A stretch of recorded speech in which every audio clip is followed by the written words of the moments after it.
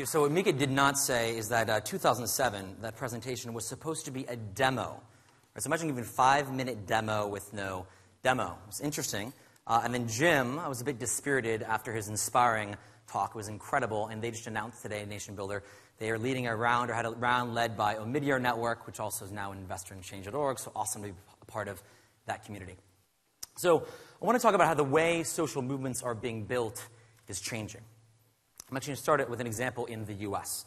So about 13 years ago, uh, the Boy Scouts of America fought all the way to the Supreme Court to defend their right to discriminate against gay members, and they won. This ruling virtually stopped all debate on this issue for more than a decade.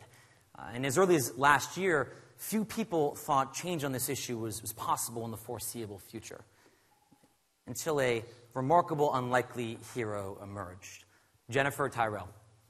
So, Jen is a 32 year old mother who uh, is from Ohio, and her seven year old Cruz was a Cub Scout. And she was a den mother until she was kicked out of the Scouts last year because she's a lesbian.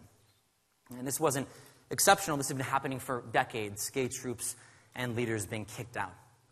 And most people walked away, but Jen decided to stand up and do something about it. And She started a change.org petition asking the Boy Scouts of America to change their anti gay policy. And she got 300,000 people to join her. And with the support of the pro equality organization GLAAD, she was able to spark a national conversation on the issue. She appeared with her son on CNN, ABC, CBS, and Fox.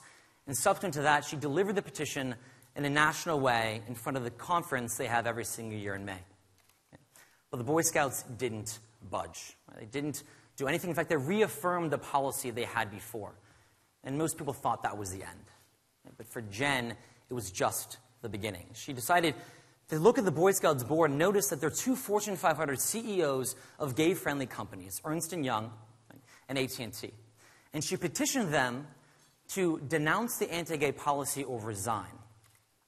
In six hours and 600 signatures later, the CEO of Ernst & Young became the first board member in the history of the Boy Scouts to publicly come out against the anti-gay policy.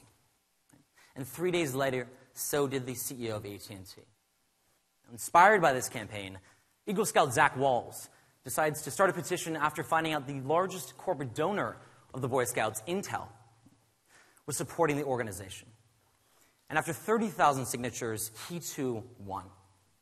And decides then, inspired, to start a second campaign. That second campaign targets UPS. And UPS also, after being petitioned, stopped all of its donations.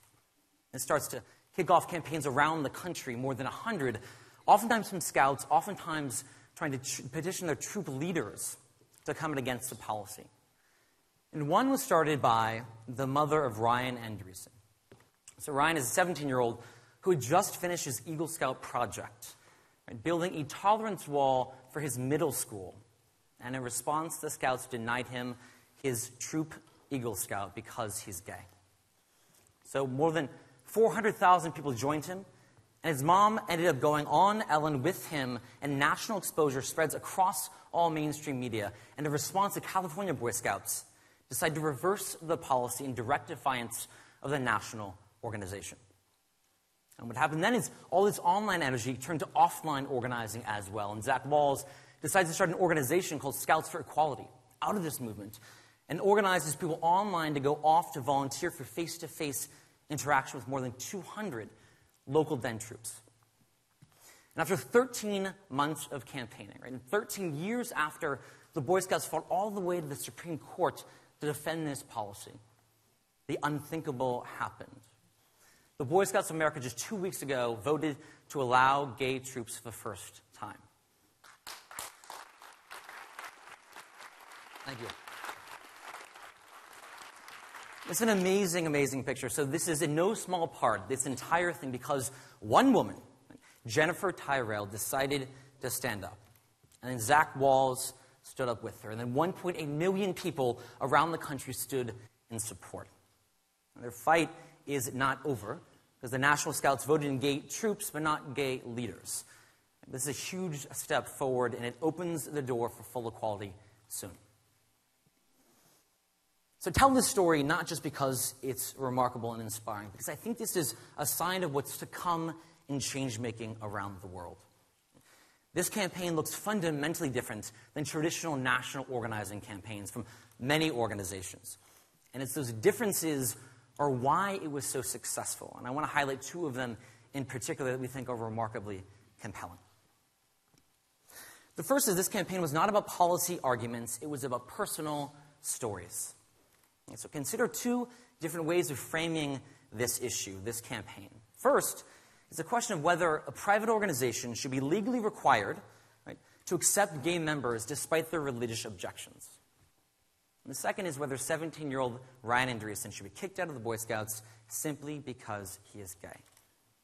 These are almost the same question, but they feel dramatically different, and it's because of that that the, the public responded so much dramatically different to his campaign. It didn't just make it more persuasive, it inspired incredible support, passionate believers who then spread this like wildfire across the media, changing the public narrative and the way the issue was perceived.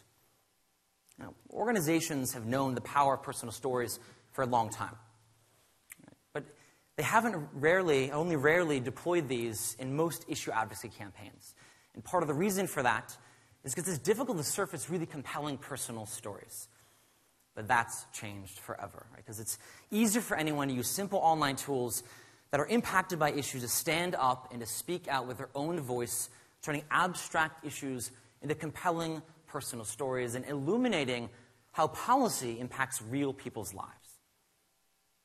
Now, the second big shift we've seen in this campaign and many others is unlike traditional large national campaigns. This was defined by a shift between big and many small campaigns. Had Jen stopped her campaign after the first national petition, like many organizations might have, the, the Boy Scouts never would have budged, never would have changed. Cracks only started to appear when she and others set their sights on smaller, more specific, focused, and achievable campaigns in rapid succession, petitioning board members and corporate donors and local troop leaders across the country. And this, too, isn't dramatically new in that you know, local community organizers have known for a long time the power of these distributed small campaigns. But historically, it's been really difficult to do this, do this at scale, right, in large numbers. And now it is easier than ever before.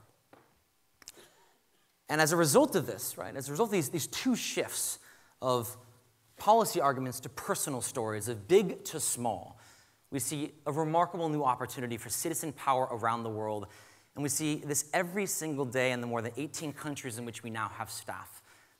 Just recently in Brazil, there's a piece of legislation proposed to weaken anti corruption investigators. And in response, more than a thousand citizen petitions started targeting individual Congress members, asking them to stand against the legislation.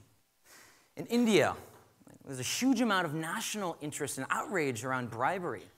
The response now that's happening is people across the subcontinent are starting petitions around individuals who are asking for bribes in local communities. First one campaign, now hundreds of campaigns, soon thousands of campaigns. And in Turkey this week, in the wake of the violence, there are tons of citizen petitions started, hundreds of them, but not about big national revolution. It's about daily change, about many, many small issues that can change, that aggregate into large impact, things around police behavior, around media censorship, around the private use of public lands. And we see this, as I mentioned, everywhere we go. And we think that ultimately this is what's going to transform the way in which people turn big issues into small local campaigns that reverberate nationally in massive, massive quantity. So the question is what does this mean for everyone else? Right? What does this mean both for social movements and for the organizations that many of us here run? Well, now, the power shift that's happening between institutions and individuals is immense. It does not mean, by any means, that traditional organizations don't matter. On the contrary, in this example in the Boy Scouts, the organizations GLAAD and the Scouts for Equality were immensely important. It could not have won without their support. But the reason they were so effective is because they had the insight and the humility to realize that their role was best facilitating and supporting existing movements and letting people speak for themselves. And it was because of that rather unique approach that they had far more power than they otherwise would have had. And so we see this is where the future is going. We think the organizations that will have the most impact are those that are able to harness the potential power of millions of people around the world speaking with their own voice and organizing in their own communities, right? Where organizations are supporters, not simply recruiting them. And the impact of all that, the results of this entire movement, we think, is going to mean that important issues that once seemed difficult to shift, issues like the ban on gay scouts, are now open game for change. Thank you.